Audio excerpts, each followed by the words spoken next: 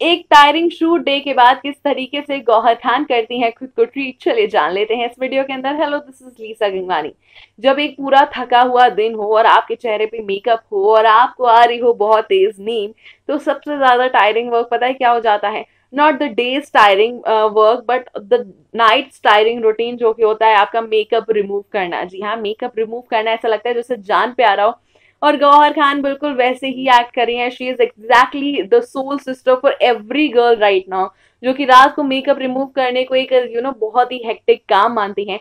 किस तरीके से गौहर खान जो है, अपना मेकअप रिमूव कर रही हैं और खुद को मोटिवेट करती जा रही हैं that you are doing a good job you are doing it good is everything that a girl feels every night of her day बता दें आपको कि गौहर खान जो है, लगातार आजकल बहुत सारे प्रोजेक्ट्स को शूट करी हैं, वही उनकी मूवी चौदह फेरे भी रिलीज़ हो चुकी है और काफ़ी ज़्यादा उसको प्यार मिल रहा है फैंस की तरफ़ से, काफ़ी ज़्यादा प्यार मिल रहा है ऑडियंसेस की तरफ़ से, क्योंकि इसमें गौहर के बहुत सारे अलग अलग तरीके के जो है किरदार नज़र आ रहे हैं। She is acting like two mothers also she is acting like item girl also मज़ेदार रोल है मतलब गौहर खान का उस पूरी मूवी में। और इसके साथ और भी कई सारे प्रोजेक्ट भी शूट करती जा रही हैं। तो गौहर खान बहुत ज़्यादा रिलेटेबल वीडियो आपने हम सभी के साथ शेयर किया है।